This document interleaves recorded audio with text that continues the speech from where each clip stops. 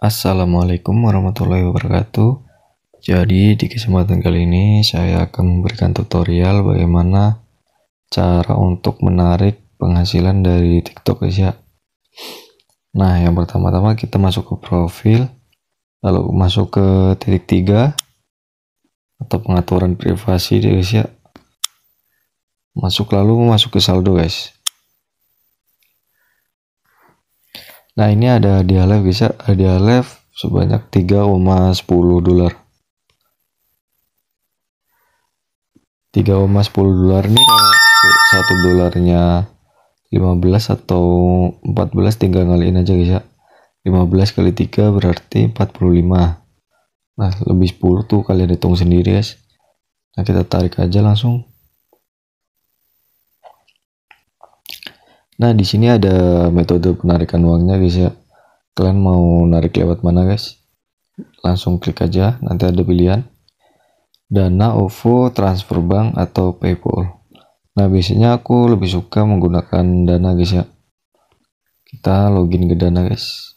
Masuk ke Dana. Nah, di sini kita diminta verifikasi dari nomor HP kita guys ya yang terdaftar di akun Dana nah kita masukin dulu 17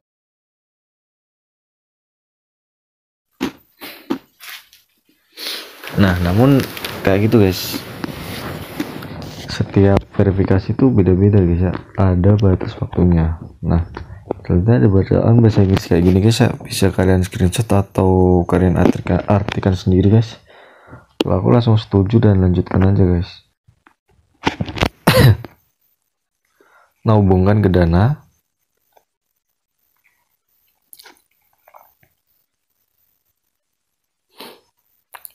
Masukkan nomor HP sebagai dana. Oke masukkan nomorku dulu guys.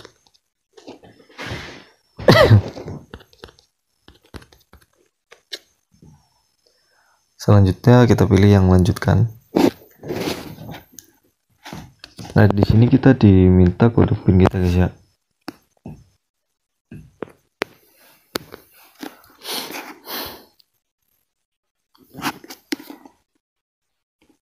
masukkan ulang guys. Nah udah berhasil guys ya.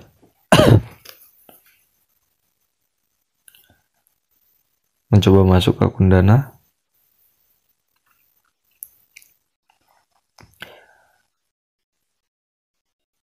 nah di sini kita ketikkan guys ya. Karena di sini nggak bisa harus minimal 4 dolar. Aku 3,10 guys ya. Berarti kurang 9 dolar guys maksudnya 0,9 dolar guys ya. Jadi belum bisa ditarik dulu guys. Kita penarikannya berarti harus 4 dolar guys ya. Kalau udah 4 dolar kita bisa narik uangnya guys.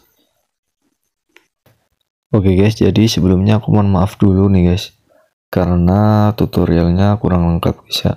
Intinya cara penarikan saldo dana yang dari gift tuh seperti itu guys ya Oke guys, makasih yang udah nonton. Jangan lupa like, komen, dan subscribe guys ya. Saya pamit undur diri dan wassalamualaikum warahmatullahi wabarakatuh.